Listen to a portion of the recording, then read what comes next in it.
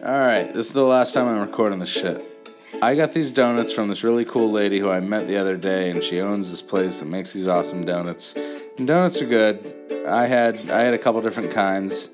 Uh, hit them up at the Chichester Country Store. You can get the donuts there.